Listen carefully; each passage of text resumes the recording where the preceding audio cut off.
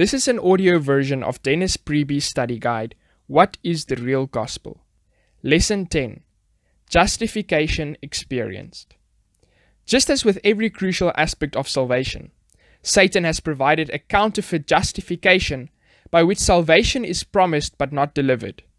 Just as there were false gospels masquerading as the truth in Paul's day, so we have false gospels today promising what they cannot deliver and multitudes of sincere Christians have bought into Satan's version of the gospel because it sounds so good.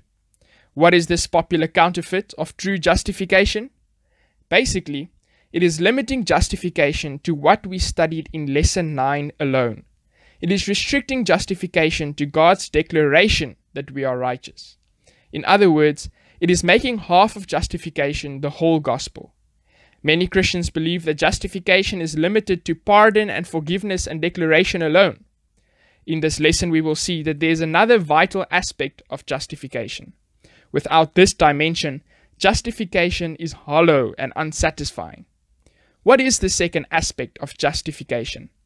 Titus chapter 3 verses 5 to 7 Not by works of righteousness which we have done, but according to his mercy he saved us by the washing of regeneration and renewing of the Holy Ghost, which he shed on us abundantly through Jesus Christ our Saviour, that being justified by his grace, we should be made heirs according to the hope of eternal life. Look carefully at how God saves us. The washing of regeneration does not refer to the waters of baptism, but to the washing of the heart. This is a heart experience, a complete transformation. It happens in the mind. It changes my values and my attitudes. The Holy Spirit renews my mind. No longer am I a self centered. Now I am Christ centered and others centered. Now I have the mind of Christ. When this washing and renewing have been accomplished by Christ and the Holy Spirit, then I am justified and saved. There is more to justification than being pardoned from past sins. This is justification experienced in the inward life. It is crucial to understand that justification follows regeneration and renewing. How did Jesus describe salvation? John chapter 3 verse 3. Jesus answered and said unto him, Verily, verily, I say unto thee, except a man be born again, he cannot see the kingdom of God. Jesus did not use the word justification as often as Paul did to describe the work of salvation. But Jesus was very clear about how we are saved. He said that the new birth is an essential prerequisite to salvation. In its most basic expression, justification experienced is the new birth. The new birth does not follow justification, it is justification. What does it mean to be in Christ? 2 Corinthians chapter 5 verse 17 Therefore if any man be in Christ he is a new creature old things are passed away, behold, all things are become new. To be in Christ is to be in salvation or to be saved. The one who is in Christ is a new creature, a new person. God creates a new person with new motivations and desires. Jesus compares this process with being born all over again. What must happen to the old man? Romans chapter 6, verses 6, 7, and 11. Knowing this, that our old man is crucified with him, that the body of sin might be destroyed, that henceforth we should not serve sin. For he that is dead is freed from sin. Likewise reckon ye also yourselves to be dead indeed unto sin, but alive unto God through Jesus Christ our Lord. The old man is our old way of living, in which selfishness and self love rule our lives. This old man must die and be replaced by the new creature, which is produced by Christ and the Holy Spirit in the new birth. Notice that to reckon ourselves to be dead is the same as actually being crucified. To be declared dead is to be actually dead. And when the old man is dead, sin is dead at the same time. Just as the old man and sinning are synonymous, so the new creature and obedience are synonymous. Thus, justification and obedience should also be one and the same thing.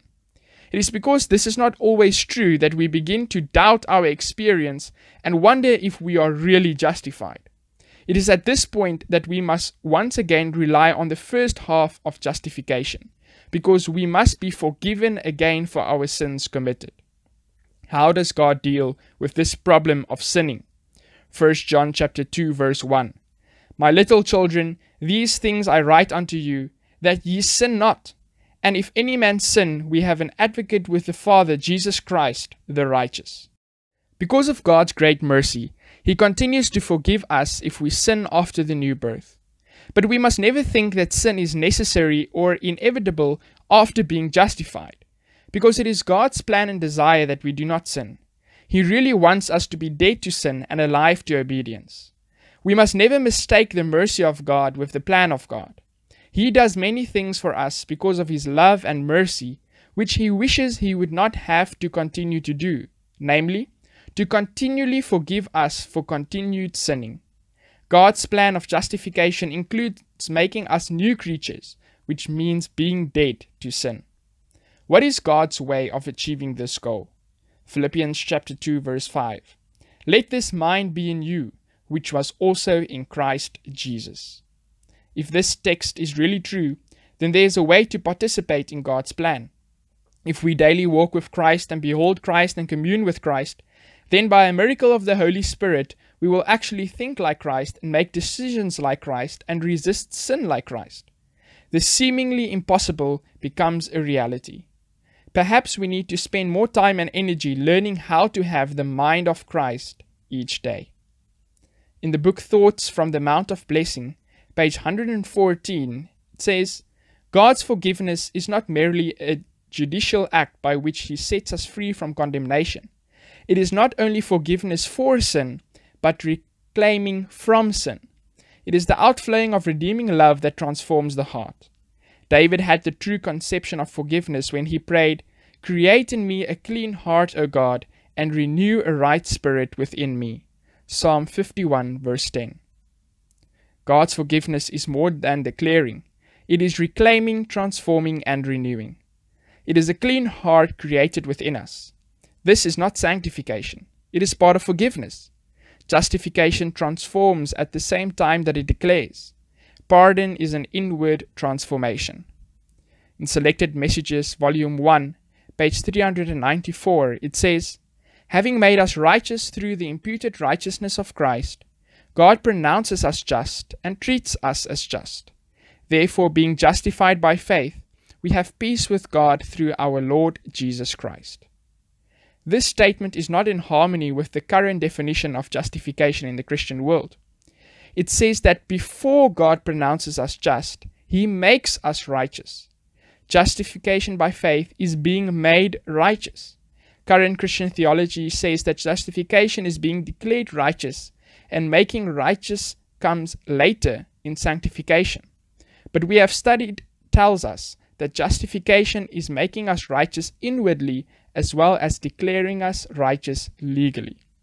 In the book Christ Object Lessons, page 163, it says, As the sinner, drawn by the power of Christ, approaches the uplifted cross and prostrates himself before it, there is a new creation. A new heart is given. He becomes a new creature in Christ Jesus. God Himself is the justifier of him which believes in Jesus. Romans chapter 3, verse 26. Justification is receiving a new heart from God, becoming a new creature. Right now, there is a major attempt being made to separate the transforming power of the Holy Spirit from justification, to put transformation totally within the process of sanctification. But what we are finding in these statements is that transformation and making righteous are part of the justifying process, after which God declares us righteous. Justification is simply another name for the new birth, the new creation, the new heart.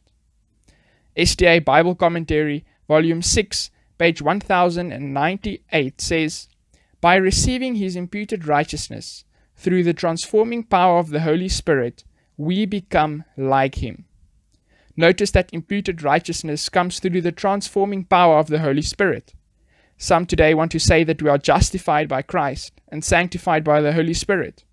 Nowhere does inspiration support this separation of the work of Christ and the Holy Spirit. Both are involved in justification and sanctification. it is clear that imputed means more than accounting and crediting.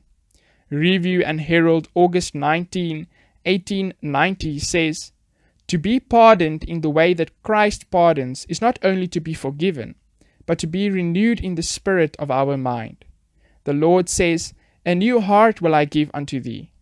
The image of Christ is to be stamped upon the very mind, heart, and soul. In conclusion, the first part of justification is to be pardoned, forgiven of my sins. The second part of justification is to be transformed in the new birth experience.